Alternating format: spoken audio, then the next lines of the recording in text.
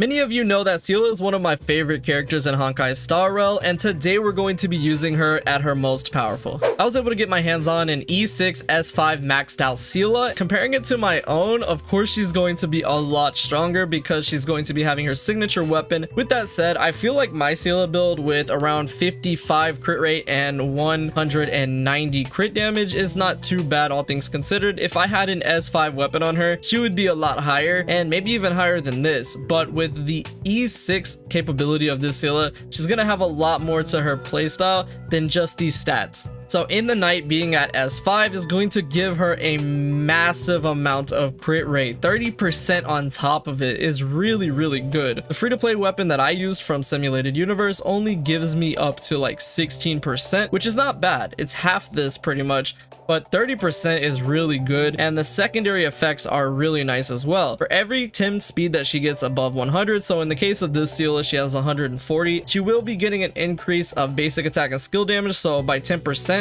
so 40% on top of that. And if i'm not wrong her ultimate is going to be increased by 20 so multiply that by the 4 that's 80% extra crit damage. That is insanely strong. The traces are maxed out and i'm a little jelly about this because even i don't have them maxed out. And without having any eidolons for her i'm not going to ever get them this high. But e6 of course the eidolons do add extra damage to her but i think they actually just make her more fun to use. E1 gives her an additional 15% crit rate to anybody below 80 so right now at 75, she's going to be at 90% crit rate, which is really good. Her second Eidolon gives her a speed boost, which is nice, especially for her attacking multiple times. And then E4 regenerates 15 energy whenever you defeat an enemy. So she could technically get up to 45 energy in one turn if you use her E, kill an enemy, pop her ult, and then still have her E again after that. That's 45 energy, which is really good. It can go a long way to getting her ult back up, but if you just use your E twice, then 30 energy, if she doesn't have her ult yet, is still pretty good. And then her E6, of course, one of the strongest ones. After using her ult, it applies an effect on top of them, which does additional quantum damage, which is really nice, especially if they are quantum weakness. This would be really good to use on them. And I'm jealous that I don't have any of these Eidolons for one of my favorite characters. Honestly, I would be fine with just the E1. Once they're up below 80%, you're pretty much almost at 100% crit rate with this build. So I would definitely want her E1 and probably her E2 to be a little bit faster. Now, because this isn't my Seele, we are a little bit limited in our testing, but just like I did with Blade, we're definitely going to test her out and see if she can do some big damage.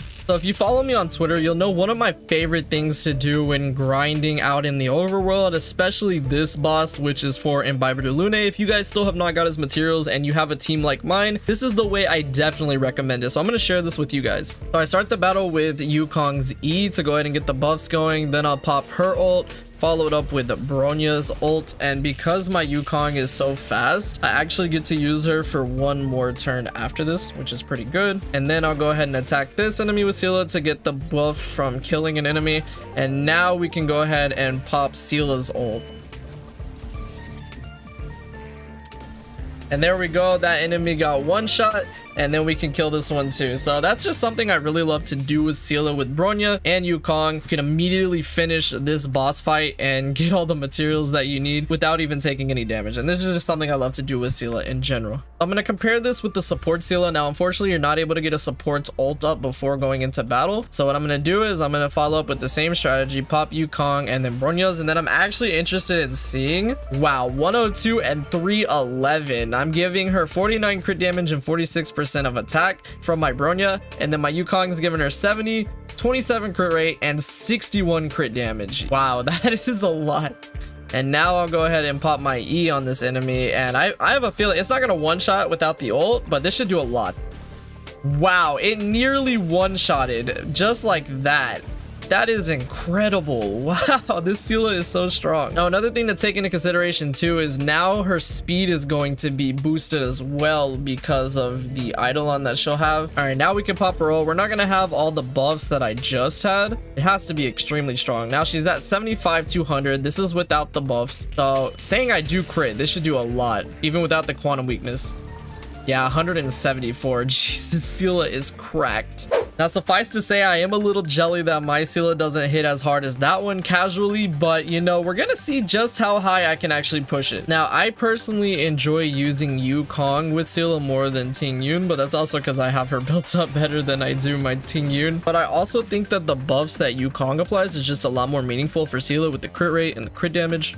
All right, let's go ahead and see this. So I'm gonna pop Yukong, follow up with Bronya, and then because it's almost killed, we can actually get the buff from Afterwards. Or actually, I can just kill off with Yukong. That's fine too, I guess. So let's see how much Seele's ult is gonna do here. And of course, I will have the same amount of buffs that I had earlier, which is very, very good. 4,000 attack, over 300 crit damage, 102 crit rate. All right, this is gonna do a lot. Almost 2 million damage. Wow, that hit really hard. 403,000 with her Q. So yeah, obviously Seele is one of the strongest hunt DPS characters in Honkai Star Rail, and I can't wait to see what other ones we get like her in the future, and using her at her most busted capabilities was definitely a lot of fun for me. I'm glad as a free-to-play player I'm able to use powerful supports that allow me to reach the upper limits of characters that I love, but let me know what you guys thought of this. Obviously Seele is a monster with quantum damage, and once you have her at her fullest potential, she's just gonna be stomping on everything in the game. Yeah, I hope y'all enjoyed this. Thanks so much for watching, and I will see you all in the next video.